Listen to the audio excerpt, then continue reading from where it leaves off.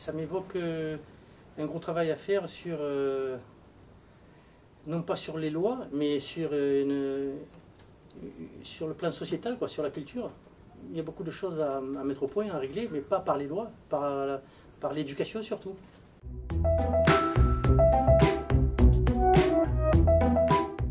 Il me semble que euh, il y a des départements qui sont sexués, c'est-à-dire qu'il y a des métiers qui sont pourvus, qui sont euh, prévus aussi pour, pour les filles, alors qu'il y a des métiers qui sont prévus pour les garçons.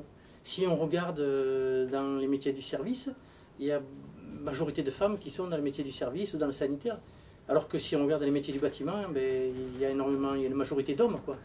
Et ça, ça pose un problème.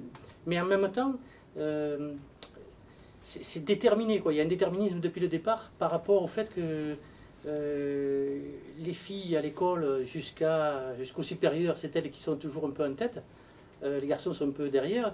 Et puis ça bascule au-delà du supérieur. Parce qu'il y a un engagement dans la vie avec euh, les femmes sur la maternité, sur, sur certains points où faire un métier, ça devient compliqué.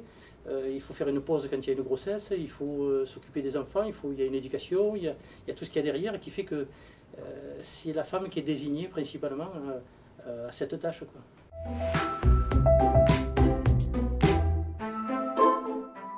Il me semble qu'il hum, y a un travail collectif à faire. C'est la collectivité qui devrait prendre en charge tout ce qui est euh, du temps non marchand qui passait à euh, le ménage, l'éducation des enfants, le soutien aux parents, grands-parents, aux personnes dépendantes. C'est généralement les femmes qui sont assignées à cette tâche.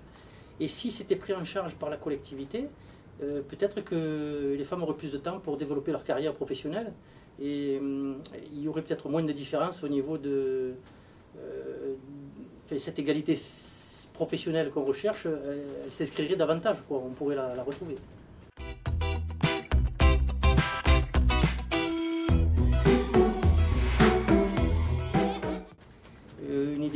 c'est prétentieux quand même de dire que j'ai une idée innovante, mais il me semble que, euh, sans vouloir faire la comparaison avec les pays du Nord, ça serait intéressant qu'il y ait euh, qu'un jeune couple ait droit à une nounou pendant les trois premières années de, la vie de leur enfant.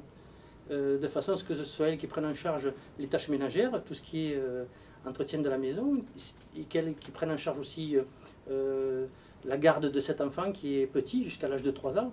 Et à partir de là, après, une répartition entre le mari ou la femme euh, paternité, maternité, euh, sachant que le congé maternité ou le congé paternité, pour certaines catégories sociales, euh, c'est pas intéressant parce qu'il y a un plafond au niveau de la sécurité sociale qui fait que certains cadres rechignent aussi à prendre un congé paternité parce que le salaire va baisser, puisqu'il y a un plafond, donc ça pose de gros problèmes.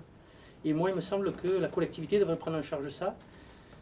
Ou alors, euh, je ne sais pas, je, pense peut-être à euh, exonérer le deuxième salaire qui vient en complément du premier gros salaire, qui est généralement celui du monsieur, du, mari ou de, l'homme qui est dans le foyer, et exonérer d'impôt sur le revenu ce deuxième salaire, de façon à ce que ce soit quelque chose qui permette de, de travailler et pas de diminuer le travail.